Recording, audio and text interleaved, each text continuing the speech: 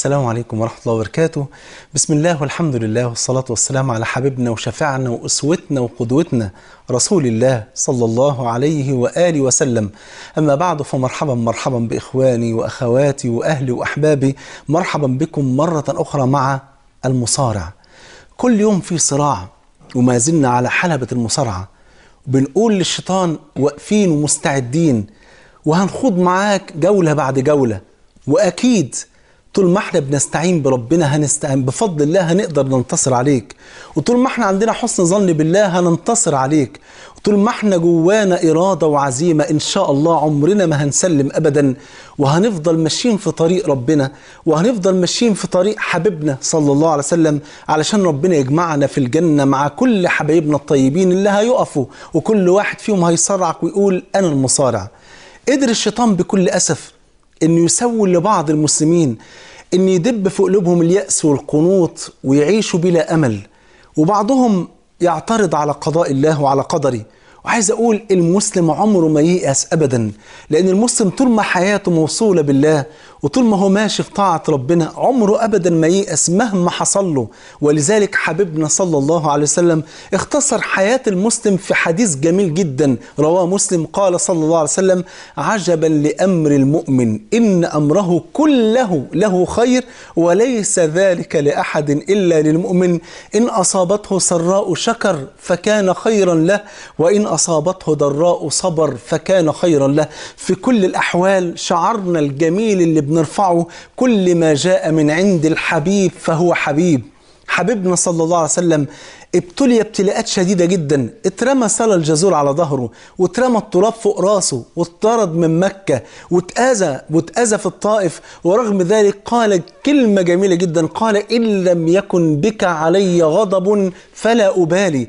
أنا ما يهمنيش إيه اللي يحصل لي المهم إن أنت تكون راضي عني. فطول ما ربنا راضي عنك لو الدنيا كلها كادت لك ولو الدنيا كلها انقلبت رأسا على عقب لا تتأثر. ما دام ربنا راضي عنك لأن لأنه لو رضي عنك هيسعدك دنيا وآخرة ولذلك ربنا ينادي على أهل الجنة ربنا يجعلنا وإياكم منهم فيقول يا أهل الجنة هل رضيتم؟ فيقولون وما لنا لا نرضى وقد أنجيتنا من النار وأدخلتنا الجنة. فيقول جل وعلا ألا أعطيكم أفضل من ذلك؟ فيقولون واي شيء أفضل من ذلك؟ فيقول أن أحل عليكم رضواني فلا أسخط عليكم بعده أبدا.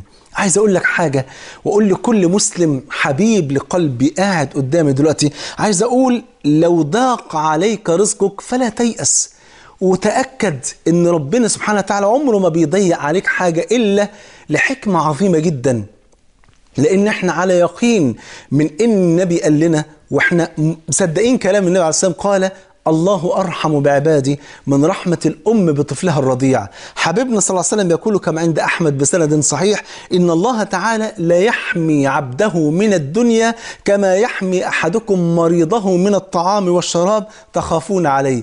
أحيانا يبقى العبد دوت لو ربنا فتح عليه أمور الدنيا من فلوس لسيارات لمناصب لشهرة العبد ده هيبعد وهيضيع ومش عمره ما هيصلي ولا يسجد لربنا سبحانه وتعالى وممكن يخش النار بسبب الدنيا فربنا بيحميه من الدنيا ويسيبه عايش فقير عشان هيكبر كسره يوم القيامة في الجنة وهيدخله الجنة ويخليه ينسى كل شقاء وبلاء مع أول غمسة في الجنة. حبيبنا ما تصلى عليه.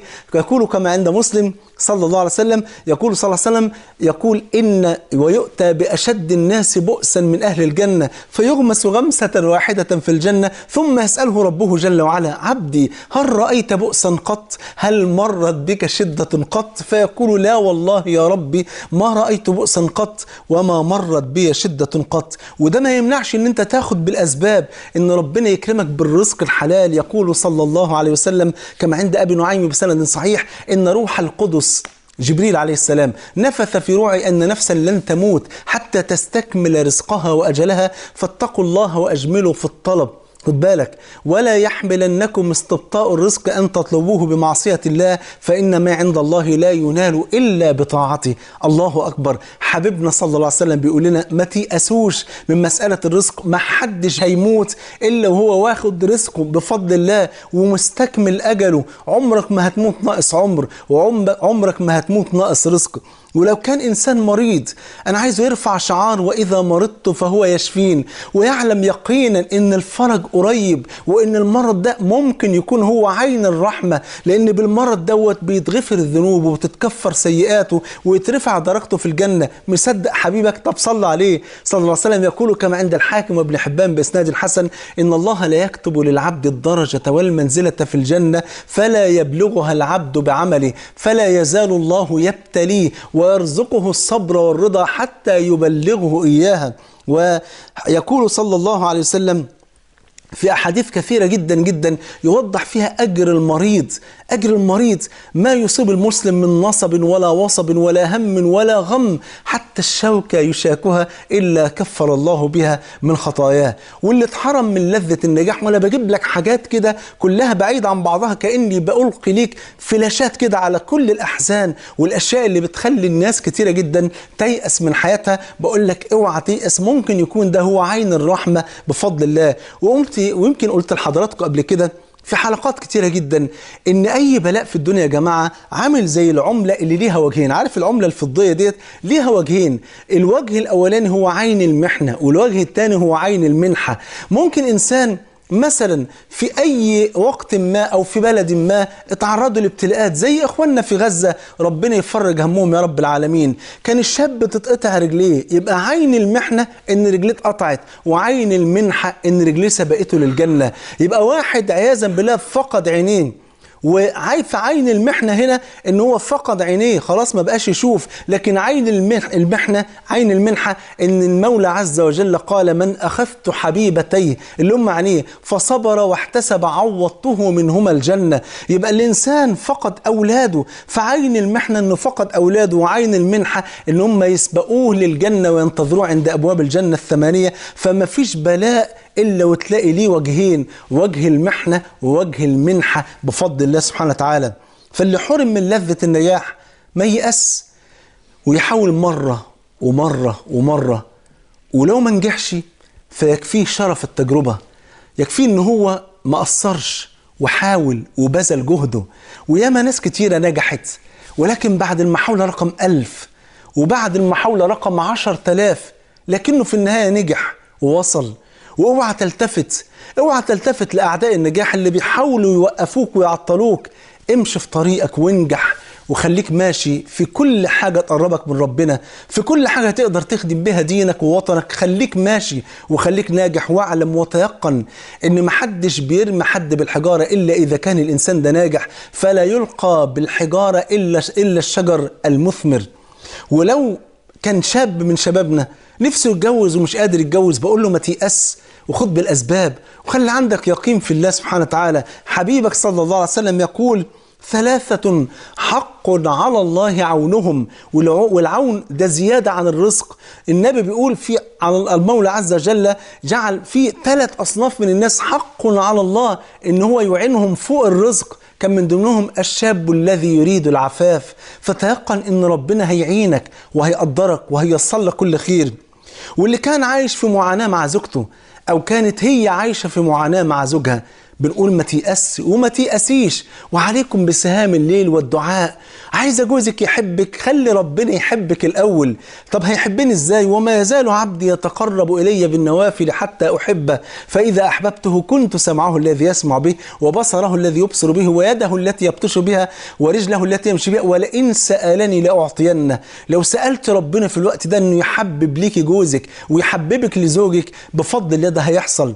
والمولى عز وجل لو حبك هينادي على جبريل يا جبريل إني أحب فلانة فأحبها فيحبك جبريل عليه السلام ثم ينادي في ملائكة السماوات السبع فتحبك الملائكة ثم يوضع لك القبول في الأرض فأول واحد يحبك زوجك هيكرمك ويعيش معاك بما يرضي الله وبالمعروف وسبحان الله وإن لم تنصلح الأحوال هننسى كل شقاء وبلاء مع أول غمسة في جنة الرحمن سبحانه وتعالى واللي عاش فقير وعمره ما حس بطعم الغنى وكان نفسه إنه يكون غني ومعاه ثروات ومعاه ومعاه عايز أقول لك افتكر حال النبي.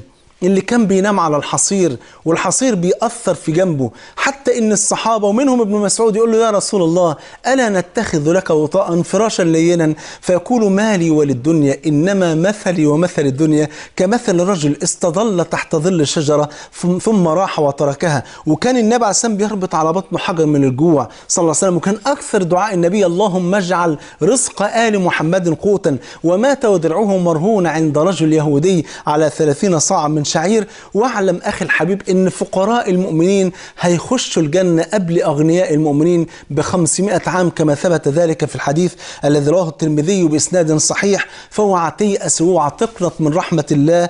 وتعالى نكمل يعني ينابيع الأمل اللي بنقذفها في قلوب المؤمنين ولكن بعد الفاصل صلى على حبيبك.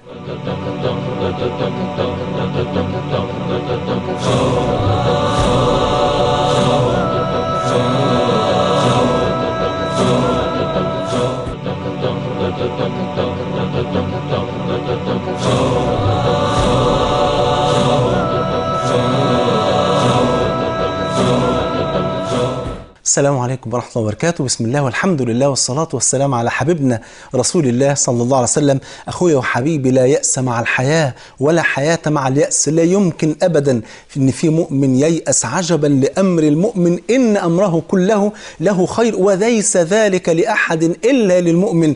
إن أصابته سراء شكر فكان خيرا له وإن أصابته ضراء صبر فكان خيرا له. لو حرم الإنسان من نعمة الذرية ويا ناس قاعدين قدامي أسأل الله عز وجل أن يرزقهم جميعا بالذرية الطيبة المباركة اللي اتحرم من الذرية. اوعى تيأس وأوعى تقنط من رحمة الله. الشيطان بيجي لك بيقول لك اشمعنى انت اللي اتحرمت من الذرية؟ ما غيرك عنده 12 ولد ولا عنده 30 ولد. اشمعنى انت يعني خسارة فيك ولد واحد؟ اخويا حبيبي خدوا بالأسباب.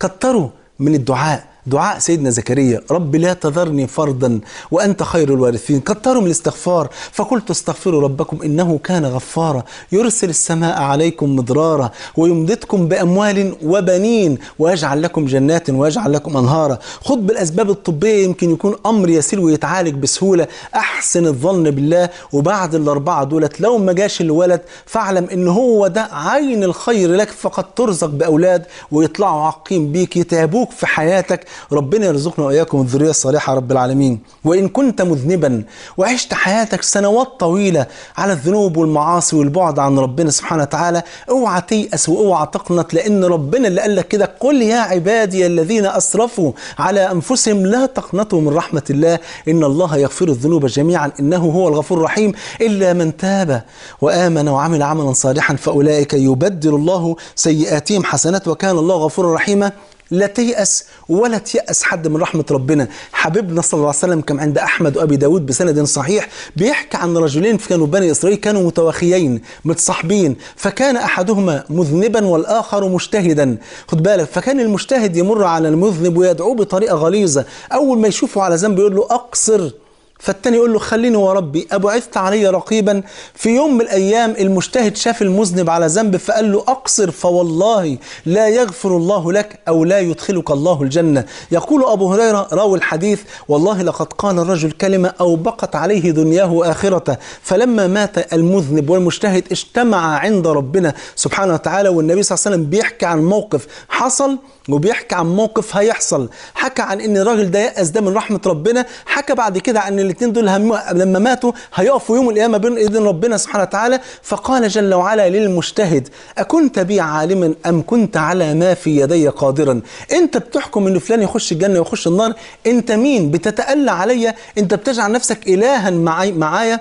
سبحان الله قال أكنت بي عالما أم كنت على ما في يدي قادرا؟ ثم قال الملائكة اذهبوا به إلى النار. ثم نظر إلى المذنب وقال اذهبوا به إلى الجنة. أخويا وحبيبي تب إلى الله اوعى تيأس. اوعى تقول يا ما عملت ذنوب ربنا مش هيقبلني. ربنا هيقبلك وهيغفر ذنوبك ويبدلها لك حسنات. ابدأ بس بصدق وتوب توبة نصوحا صادقة وإن شاء الله ربنا هيقبلك وتكون أحسن مننا كلنا إن شاء الله.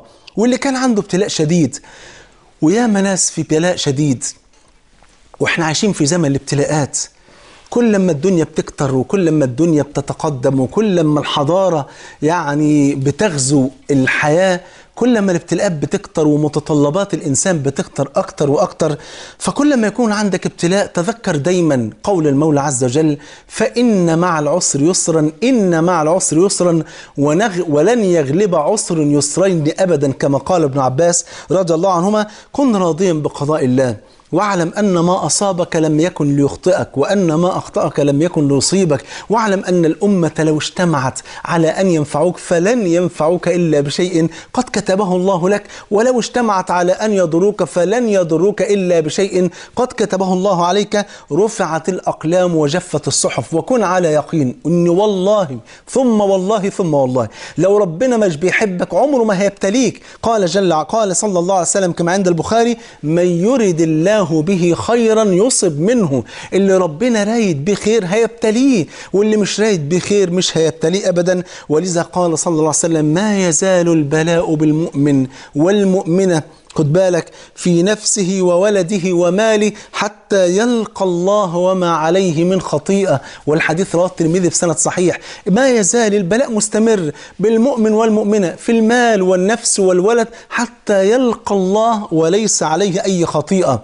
يا ناس كانوا مليونيرات. ومرة واحدة بقى على الحديدة فقد أمواله. لو فقدت الدنيا كلها اوعى تيأس. انت اللي بتملك الدنيا عمر الدنيا ما بتملكك. انت اللي جبت الفلوس بقدر ربنا وبفضل ربنا والفلوس عمرها ما جابتك. لو فقدت الدنيا كلها ما تيأس ما دام عندك دينك وما دام عندك إيمانك. إيمانك وقرآنك ودينك وسنة حبيبك صلى الله عليه وسلم أغلى عنك عندك من الدنيا كلها. لما خير سيدنا يوسف عليه السلام بين مصيبة الدنيا بأن هو يسجن بأن هو يسجن ويعيش في السجن وما أدراك ما السجن خد بالك. وبين أن هو يصاب في دينه فيصبو إلى النساء قال قال رب السجن أحب إلي مما يدعونني إليه. شوف قد إيه؟ يبقى السجن أفضل عندي من أن أنا أصاب في ديني. ولذلك كان من دعاء حبيبك ما تصلى عليه صلى الله عليه وسلم كان يقول اللهم لا تجعل مصيبتنا اللهم لا تجعل مصيبتنا في ديننا ولا تجعل الدنيا أكبر همنا ولا مبلغ علمنا فلا تحزن لو فقدت الدنيا بأسرها. ومن مات أحبابه وياما ناس فقدت أحبابها أوعى تحزن وأوعى تيأس. مش هي دي نهاية المطاف. لأن الدنيا كلها ظل زائل. النبي وضحها وشبهها كده قال إيه؟ إنما مثلي ومثل الدنيا كمثل رجل ماشي مسافر. استظل تحت ظل شجرة ثم راح وتركها. هو مسافر بقاله 3 4 أيام وهيوصل بعد 3 4 أيام ووقف يستظل في 10 دقايق. الدنيا هي العشر دقايق ديت. لكن لسه في حياة جميلة حياة رائعة حياة خالدين فيها مخلدين. في جنة الرحمن التي فيها ما لا عين رأت ولا أذن سمعت ولا خطر على قلب بشر. فلو فقدنا أحبابنا بنرجو من ربنا سبحانه وتعالى أنه يجمعنا بيهم في الجنة. عشان نعيش أجمل حياة. قال جل وعلا والذين آمنوا واتبعتهم ذريتهم بإيمان ألحقنا بهم ذريتهم وما ألتناهم من عملهم من شيء. لو الأب والأم أعمالهم الصالحة وصلتهم الفردوس الأعلى وولادهم داخلين الجنة برضه بس في درجة أقل من رحمة ربنا إنه يرفع الأقل للأعلى ويعيشهم مع بعض في أعلى درجة في الجنة علشان يسعدوا مع بعض في الجنة. ربنا يجمعنا وإياكم في الجنة. المولى عز وجل كما وضح النبي صلى الله عليه وسلم ذلك عند البخاري قال من أخذ الله صفيه يعني حبيبه من أهل الدنيا فصبر واحتسب لم يكن له جزاء عند الله إلا الجنة.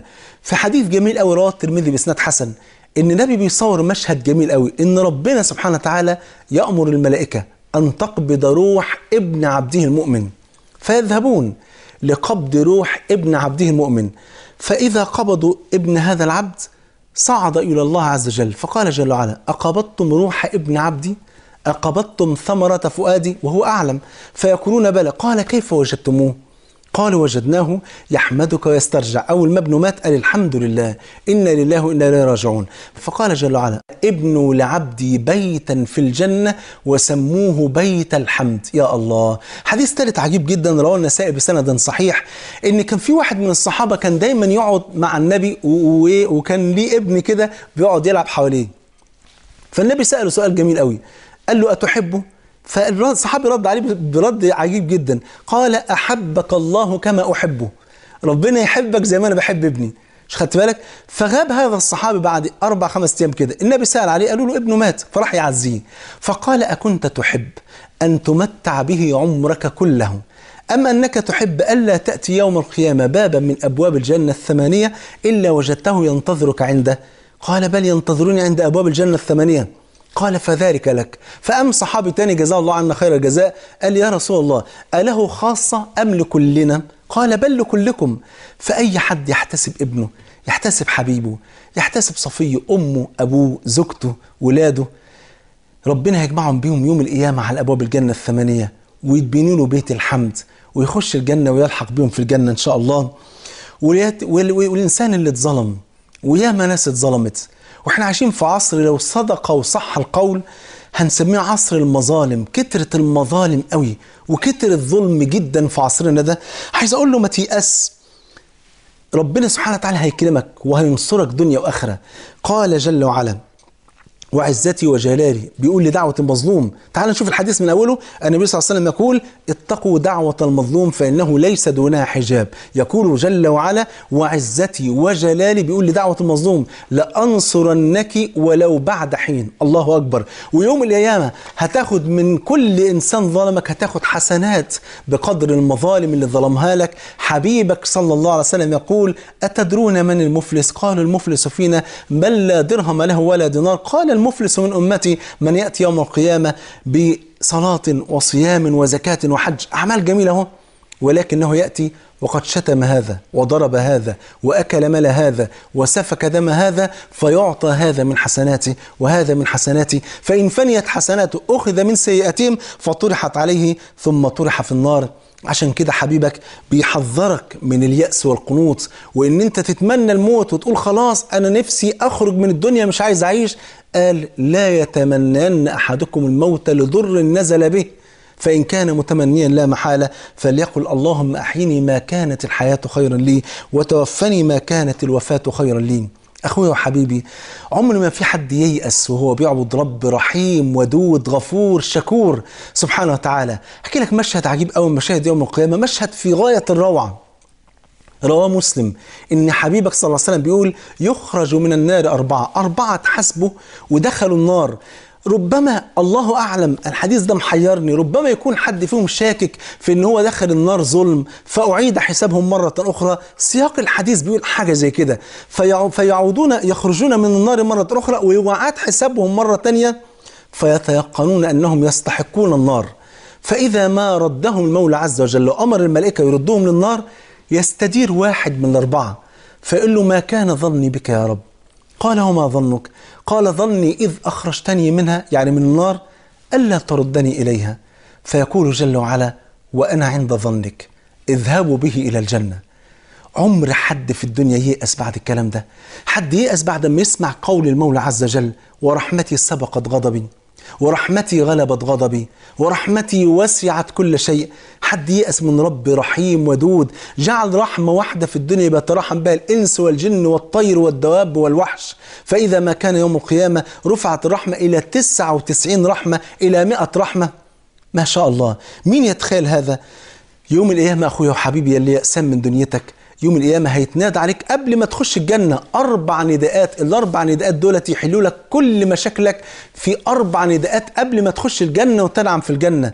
كما ورد عند مسلم أن النبي صلى الله عليه وسلم قال ينادي مناد يوم القيامة إن لكم أن تحيوا فلا تموتوا أبدا. هتبقوا مخلد في الجنة. وإن لكم أن تشبوا تفضلوا شباب على طول فلا تهرموا أبدا. عمرك ما هتعجز أبدا. وإن لكم أن تصحوا فلا تسقموا أبدا. ما فيش أمراض أبدا. وإن لكم أن تنعموا فلا تبأسوا أبدا. عايز إيه أكتر من كده؟ يقينا إن شاء الله لا يأس ولا قنوط كلنا بنرضى بقضاء ربنا سبحانه وتعالى وبنتذكر الحديث اللي بدأناه في أول الحلقة. عجبا لأمر المؤمن إن أمره كله له خير وليس ذلك لأحد إلا للمؤمن. إن أصابته سراء شكر فكان خيرا له وإن أصابته ضراء صبر فكان خيرا له وليس ذلك لأحد إلا للمؤمن. أخويا وحبيبي لا يأس ولا قنوط. انتصارنا على الشيطان في الجولة ديت مش هنخليه يأس حد مننا ولا يقنط حد مننا. كلنا راضين بقضاء الله وعارفين إن كل قضاء وكل بلاء نازل هو محنة ومنحة في وقت واحد وإحنا راضيين بقضاء ربنا وكل ما جاء من عند الحبيب فهو حبيب. اللهم ارزقنا الرضا بقضائك يا رب العالمين. اللهم اغفر ذنوبنا استر عيوبنا تولى أمرنا أحسن خلاصنا فك أسرنا يمن كتابنا يسر حسابنا يسر على الصراط مرورنا. استرنا فوق الأرض وتحت الأرض ويوم العرض عليك. ارحمنا إذا دخل علينا ملك الموت. وارحمنا إذا ما انقطع منا الصوت. وارحمنا إذا ورينا تحت التراب وانصرف عنا الأهل والأحباب. ولم يعد لنا سواك يا الله. عبيدك سوانا كثير وليس لنا رب سواك. فإن لم تغفر لنا وترحمنا فمن ذا الذي يغفر لنا ويرحمنا؟ اجمعنا على حوض النبي محمد. لنشرب من يده الشريفة شربة هنيئة. مريئة لا نظمأ بعدها أبدا. واجمعنا مع النبي وأصحابه في الفردوس الأعلى وأتمم لنا اللذة يا الله بالنظر إلى وجهك الكريم في غير ضراء مضرة ولا فتنة مضلة. سبحانك اللهم وبحمدك أشهد أن لا إله إلا أنت. أستغفرك وأتوب إليك. وصلى الله على نبينا محمد وعلى آله وصحبه وسلم. بحبكم في الله والسلام عليكم ورحمة الله وبركاته. عايشين سنين العمر نتصارع من دوامات الدنيا والشهوات مليون